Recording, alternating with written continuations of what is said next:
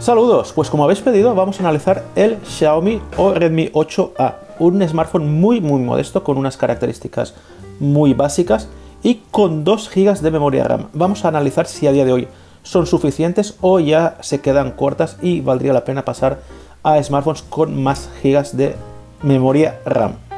En el apartado comunidad, como siempre, os dejo un post donde podéis preguntar cualquier cosa que queráis sobre este smartphone y os lo responderé en el próximo vídeo y también un link a Amazon por si lo queréis comprar y otro a eBay por si queréis conseguir esta unidad dentro del territorio español por subasta, ¿de acuerdo? Así que vamos a ver qué tiene este smartphone.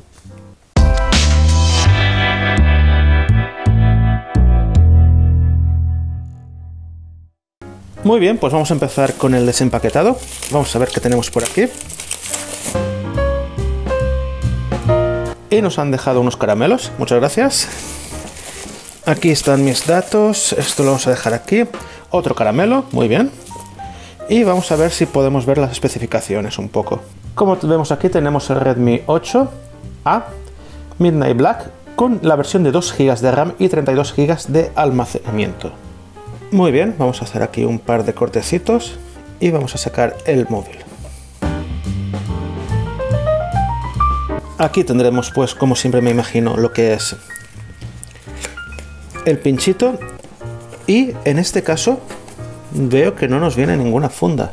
Aquí tenemos el terminal y aquí me imagino que tendremos pues el cargador que me imagino que será el típico de 5 voltios. Vamos a intentar enfocar mejor. Pues como vemos aquí es el de 5 voltios y 2 amperios, el tradicional que suele utilizar Xiaomi.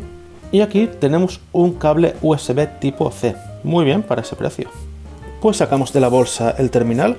Aquí tenemos una batería de 5000 mAh, vamos a ver lo que dura, y carga rápida de 3 vatios y 18, de 3.0 a 18 vatios.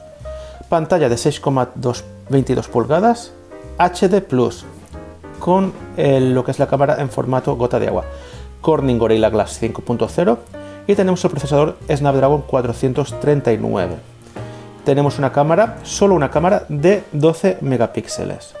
Esta cámara en formato gota de agua pues es de 8 megapíxeles. Y vamos a quitar el plastiquito.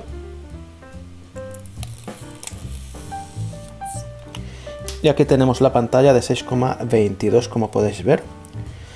Aquí tenemos la parte trasera. Esto es plástico. Y me imagino que este borde pues también es de plástico. Vamos a quitar estos dos, estas dos pegatinas tenemos una micro SD y podemos meter dos nano sims. Muy bien.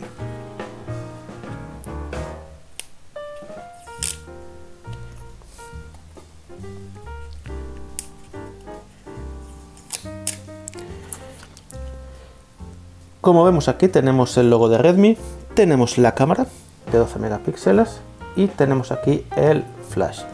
Y aquí tenemos pues el certificado de Unión Europea. Aquí tenemos los dos botones de encendido y subida y bajada del volumen. Aquí me imagino que esto será el micrófono de cancelación de ruido. Aquí es donde pondremos las tarjetas, la conexión USB tipo C y el jack de 3,5 para los auriculares. Y aquí estará el altavoz. No sé si será estéreo, eso lo vamos a probar luego. Y bueno, pues vamos a encenderlo. Pues vamos a pasar a encenderlo. Algo que por desgracia no tendremos en este móvil es que no tendremos eh, Wi-Fi para redes 5 a 5 GHz, solo a 2,4. Eso pues nos hará que nos conectemos a puertos que sean seguramente un poco más lentos. Bueno, vamos a seguir configurándolo. Muy bien, pues ya tenemos configurado el terminal y vemos que tenemos algunas aplicaciones de terceros, como suele pasar a veces, y algún juego que esto se puede instalar pero que no debería de estar ahí tampoco. Vamos a ver un poco más sobre el terminal. Tenemos aquí una actualización, alguna actualización parece ser de las aplicaciones, las haremos luego. Y vamos a ver un poquitín sobre el terminal. Tenemos el Redmi 8A con el parche de seguridad del 8 de 2019. Tenemos 2 GB de memoria RAM, como vemos aquí, y un procesador a 8 núcleos. 32 GB de, los cuales se nos quedan 20,74. La verdad es que MIUI consume bastante recurso.